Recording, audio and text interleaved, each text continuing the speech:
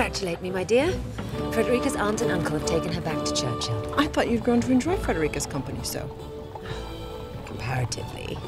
A bit. But I'm not so self-indulgent as to want to wallow in the companionship of a child. Lass, I fear this is our last meeting. At least while Mr. Johnson is in life.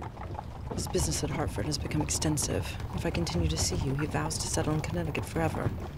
Oh, you could be scalped. I had a feeling that the great word respectable would someday divide us. Your husband I abhor, but we must yield to necessity.